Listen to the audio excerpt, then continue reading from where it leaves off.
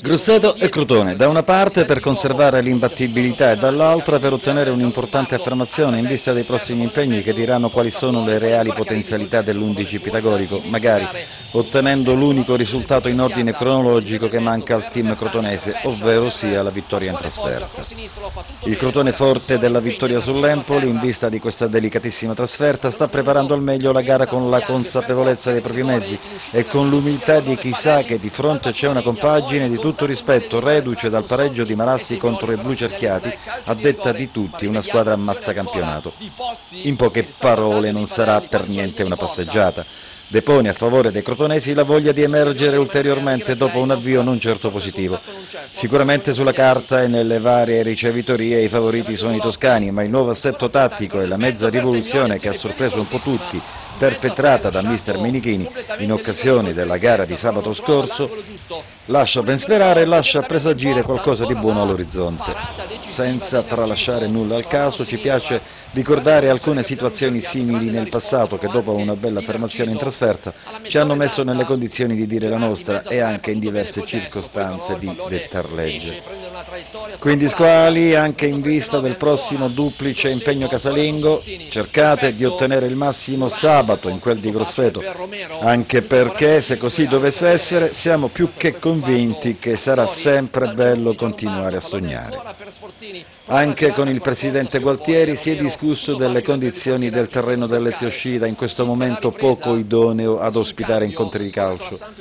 Al Presidente abbiamo chiesto anche di farci conoscere il suo pensiero dopo le dichiarazioni del Presidente di Lega Abete che ha pubblicamente preso in esame la questione. Da consigliere di Lega, anche se squalificato, puoi darmi sicuramente la tua risposta.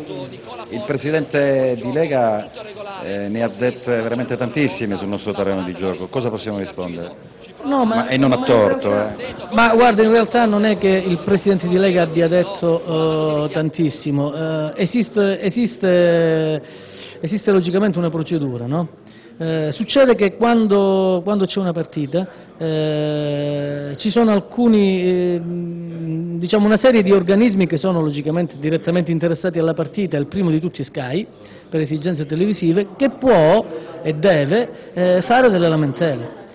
Qui è successo niente di particolare, è successo quello che succede ogni anno. Noi eh, prima della prima settimana di novembre non abbiamo mai lo stadio per la questione climatica, per il fondo del terreno che ormai è fatto in un certo modo e noi abbiamo questo problema. Quest'anno... Le capiscono queste ragioni? Sì, ma quest'anno non è successo niente di particolare rispetto agli altri anni, è successo che Sky nella partita con Livorno e anche nell'ultima giustamente ha fatto lamentele dicendo per esigenze televisive il terreno di gioco è un po' così.